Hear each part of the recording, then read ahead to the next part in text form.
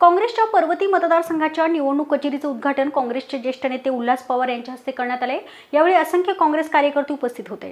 काँग्रेस पक्ष राष्ट्रवादी काँग्रेस आणि त्यांचे मित्र पक्ष यांचं आत्ता निवडणूक कचेरीचं उद्घाटन झालेलं आहे. तर त्या संदर्भात आपण थेट बातचीत करूयात रमेश बागवे अभय चाजेड उल्हासदादा पवार आणि अश्विनी कदम यांच्याशी. निवडणूक प्रचार आत्ता जोरदार त्याची तयारी केली जात आहे. तर त्याविषयी काय सांगाल? तुमच्या काय योजना आहेत?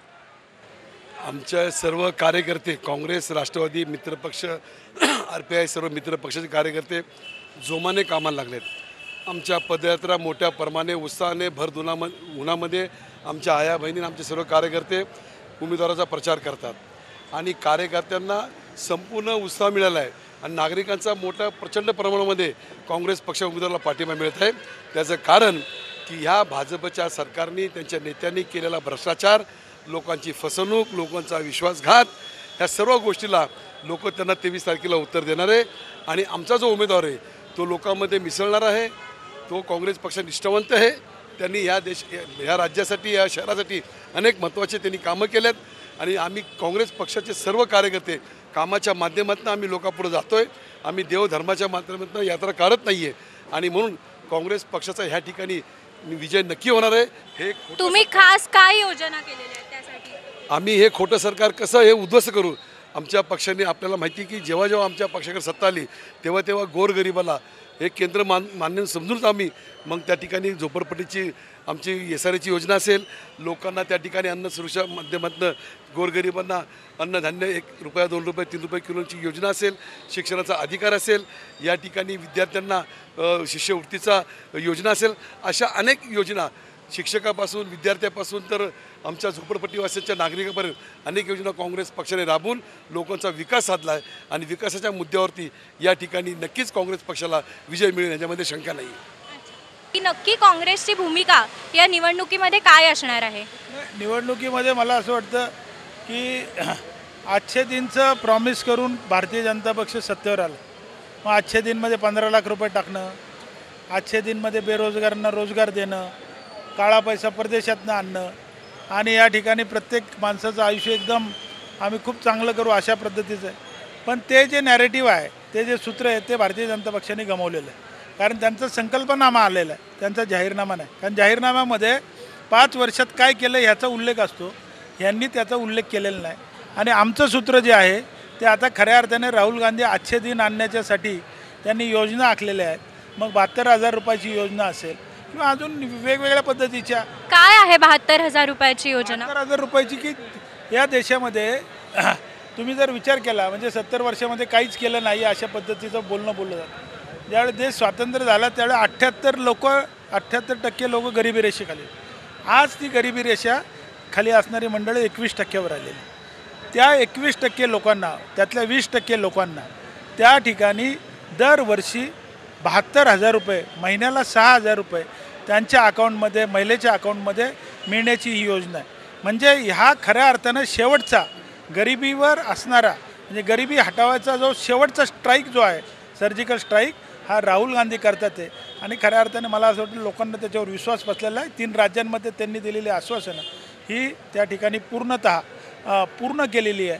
आणि याच्याशिवाय मग बरेच मुद्दे आजच्या दिनात आम्ही सांगतो त्याच्यावर लोकांचा विश्वास आहे. यांचा भ्रष्टाचाराचा मुद्दा आज तर कोर्टाने त्या ठिकाणी उघड उघड प- फेर याचिका दाखल करून घेतलेली आहे. आणि राफेलची आता ज्यावेळेस मेरिटवर होईल आणि ती कागदपत्रं ज्यावेळेस सगळी पाहिली जाईल मला असं वाटतं की नरेंद्र मोदींना त्या ठिकाणी क्रिमिनल प्रॉसिक्युशन फेस करावी लागेल. आणि या देशाच्या पंतप्रधानाला पहिली वेळ असेल की त्या ठिकाणी नक्कीच शिक्षा लागेल अशा प्रकारचं चित्र. की राहुल गांधी किंवा प्रियांका गांधी प्रचारासाठी पुण्यामध्ये येणार आहेत का? त्याविषयी काय सांगाल? त्यांनी पुण्यामध्ये यावं असं आम्हाला सर्वांना वाटतं. पण त्यांच्या एवढ्या बिझी शेड्यूलमध्ये सर्व देशभर त्यांना फिरायचं आहे. शक्य होईल की नाही हा नंतरचा भाग आहे पण आम्हा सर्वांची इच्छा आहे. आणि आम्ही तसा प्रयत्न करतो आहे किमान सभा नसली तर त्यांचा रोड शो व्हावा अशी आमची कल्पना आहे. आता आपण सर्वांनी अमेठीचा त्यांचा फॉर्म भरण्याचा जो एक रॅली निघाली ती सर्वांनी पाहिलेली आहे. भारतीय जनता पक्ष तो थक्क झालेला आहे ती रॅली बघून त्या अमेठीमधली आणि त्या ठिकाणच्या लोकांच्या प्रतिक्रिया. त्यामुळे विजय निश्चित आहे. आता लोकांची मनं तयार आहेत. आता लोकांची मनं तयार झालेली आहेत. खरं म्हणजे फक्त जाऊन त्यांना विनंती करायची आहे आणि मतदान केंद्रापर्यंत न्यायचं आहे. ते शंभर टक्के पंजाबच्या बटणावरच या ठिकाणी शिक्का मारणार आहेत. म्हणजे राष्ट्रवादी आणि काँग्रेस पक्ष आणि आमचे मित्रपक्ष या सर्वांच्या वतीनं आता आता जीवाचं रान करून लोक त्यांना निवडून आणण्याचा प्रयत्न करत आहेत आणि मोहन जोशी उभे आहेत बापटांविरुद्ध तर त्याविषयी काय सांगाल? आमचे निष्ठावंत कार्यकर्ते आहेत. सामान्य कार्यकर्ता आहे युवक काँग्रेसच्या चळवळीतून आलेला कार्यकर्ता आहे. त्याचे वडील हे काँग्रेसचे अतिशय निष्ठावंत कार्यकर्ते होते.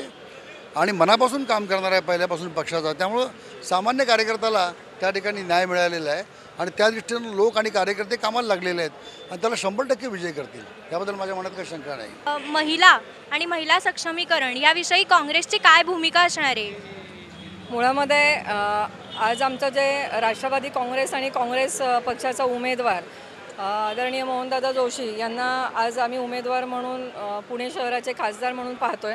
आणि या ह्याच्यामध्ये सर्वात आमचं एक महत्त्वाचं धोरण असं आहे की संविधान आम्हाला वाचवायचं आहे आणि या संविधानाचा जो काही गोळ या आत्ताच्या सरकारने केलेला आहे हा जो काही संविधानाचा गोळ जर संविधान आज वाचवलं नाही तर मला वाटतं पुढचं भविष्यामध्ये हे भारतीय जनता पक्षाचं सरकार जर निवडून आलं तर पूर्ण भारताची घटना ही बदलून जाणार आहे. आणि सामान्यातलं सामान्य माणूससुद्धा जगताना चार वेळा विचार करावा लागणार आहे.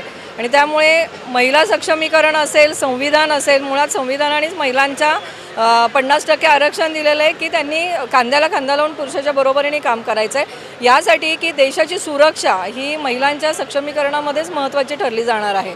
आणि त्यामुळे आमच्या सगळ्याच आघाडीचा हा दृष्टिकोन आहे.